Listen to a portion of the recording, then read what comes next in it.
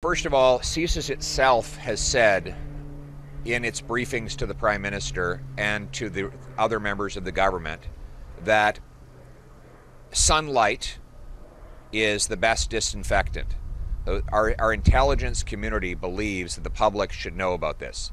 That's why members of CSIS or some other national security agencies are leaking this information to the media. They believe Canadians need to know. And we should leave it to an experienced judge who's heard cases involving national security and sensitive information to decide what becomes public and what doesn't, and ultimately to rule on what occurred and what needs to happen to fix it.